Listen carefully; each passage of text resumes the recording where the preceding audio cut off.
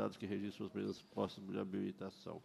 A presidência, nos termos do parágrafo 1 do artigo 132 do Regimento Interno, dispensa a leitura da reunião anterior, considera aprovada e solicita sua subscrição. A finalidade desta reunião se destina a receber, discutir e votar proposições desta comissão. Acusa também essa comissão o recebimento das seguintes proposições, das quais foram designadas como relator. Projeto de lei número 4.970, 2018, em turno do deputado Fabiano Tolentino. Essa presidência vai para ser a reitoria do projeto de lei número 3.807, 2016, primeiro turno. O momento também parecer de redação final dos projetos de leis números 4.495, 4.795, 4.805, 4.812, 4.849, 4.850 e 4.852 de 2017. Encerra essa discussão. Em votação, os pareceres. Deputado aprova permanece como se encontra. Aprovado. Passa-se terceira fase da ordem do dia e compreende recebimento, discussão e votação de proposição desta comissão.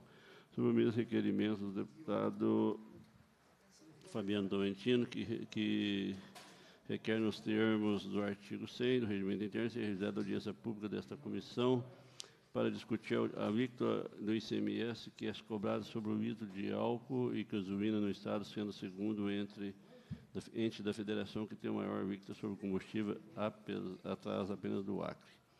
Em votação, requerimento. Os deputados que aprovam permanecem como se encontram. Aprovado. Tem os outros também, né? Esse é de mim. Todos são meus? Passar presidente, deputado? Roberto? Deputado Roberto Andrade, para que eu possa fazer leitura de requerimento. Requerimento, deputado Antônio Casarantes, que seja formulado voto de congratulação com o Sindicato da Organização das Cooperativas do Estado de Minas Gerais, ao SEM, pelo sucesso do Dia de Cooperar. Requerimento também, deputado Antônio Casarantes, seja realizado reunião com convidado da Comissão Agropecuária e Agroindústria para debater a importância da realização das ações sociais promovidas pelos sindicatos e organizações das cooperativas do Estado de Minas Gerais, o SENG, incentivando a cultura do cooperativismo. Também do deputado Antônio Casarantes, seja realizada audiência pública para discutir os, avanço, os avanços e a forma de regulamentação no Estado de Minas Gerais do projeto da Lei da Câmara 16 de 2018, que altera a inspeção industrial e sanitária para disciplinar a fiscalização da produção alimentícia artesanal e autorizar a comercialização interestadual, transferindo a regulamentação para o Estado e criando o selo Arte, que facilita o comércio de produtos artesanais.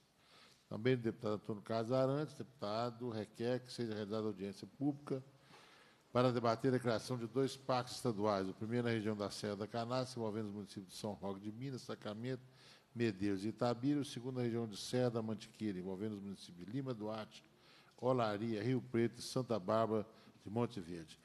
Em, em votação os requerimentos. Cada um por sua vez. Os deputados que aprovam permaneçam como estão. Aprovado. Devolvo a presidência ao deputado Antônio Casares. Muito obrigado, deputado Roberto Andrade. Eu, eu, gostaria de manifestar aqui mais uma vez essa grande preocupação quanto a essa decisão do governo Pimentel em criar dois parques estaduais, um na região do Rio Preto, da Lima Duarte, Lovaria e também é, pega aquele entorno da região de Lima Duarte, né? também Santa Bárbara. E o outro na região da Canastra, que já tem um parque nacional, agora quer criar um estadual ao lado, onde vai abranger a região de São Roque de Minas, Sacramento, Tapira e Medeiros. É um absurdo o que o governador está querendo fazer, porque não tem um real nos cofres públicos para adquirir essas áreas, para desapropriar. Então, que está querendo criar parque na propriedade dos outros. Devia criar parque nas propriedades do Estado. Deve ter um monte de parque de área aí, de devoluta do Estado, que pode fazer à vontade. Mas não em área produtiva, onde está cheio de pequenos produtores, médios também, pessoas que trabalham, que cuidam da sua sua luta da tua propriedade ali 50, 100 anos, as mesmas famílias. Então, desalojando essas famílias com a mão na frente e outra atrás, e com o bolso vazio. Para nós é uma agressão. Então, nós queremos discutir esse, esse, essa decisão errônea do governo Pimentel. Mas falando também é, de, é, agora de coisa boa, viu? eu te, eu, só encerrar essa parte, que eu já te passo, que aí você fica à vontade, deputado.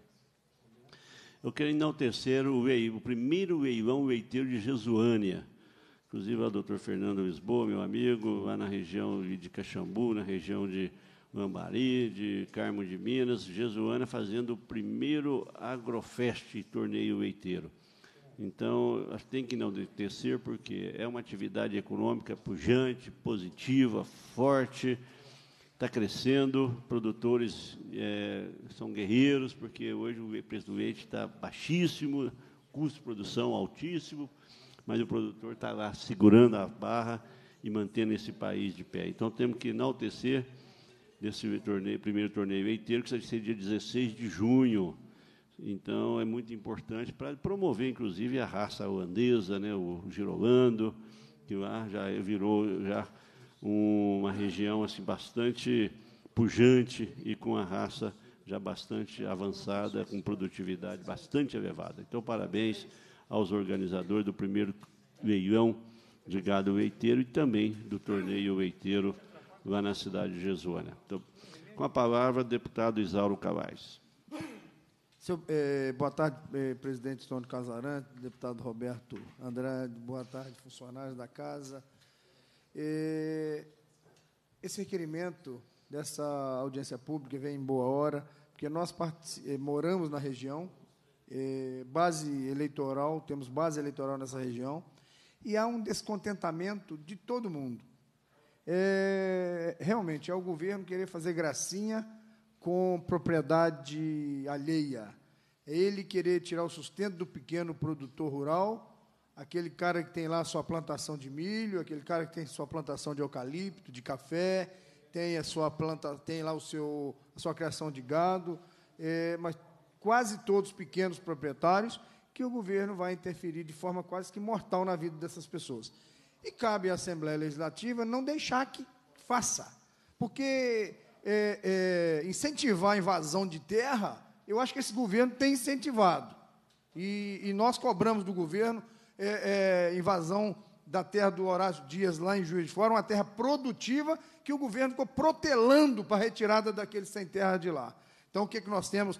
Nada contra quem não tem terra, eu acho que tem que ter terra, o governo tem que comprar, tem que adquirir terra para fazer uma reforma agrária, para assentar as pessoas que querem também produzir, mas não deixar que invadam terra é, é, produtiva, como aconteceu lá no, no, nas terras do Horácio Dias.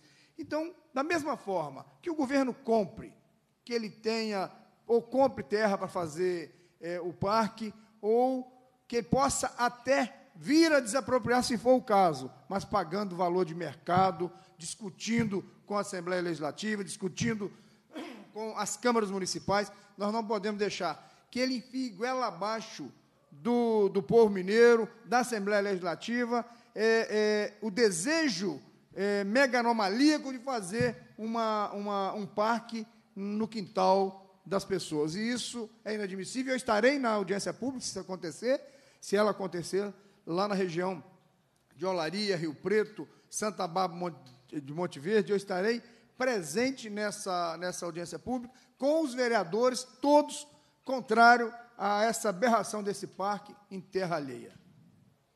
Muito obrigado, deputado Isauro Cavais. Cumprida a finalidade da reunião, a presidência agradece a presença dos parlamentares, dos convidados e do público presente. Convoco os membros para a próxima reunião ordinária, determinando a abertura da ata e encerro o trabalho. Muito obrigado a todos.